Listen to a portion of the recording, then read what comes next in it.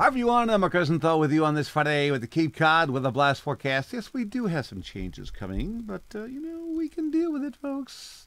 Mark, why are you talking in a high voice? I don't know. Weather headline today. Well, we talk about a cloud-filled Friday. Most of the rain northwest of us. Mild tomorrow. I say rain arrives Sunday night. I want to scratch that and say probably late Monday.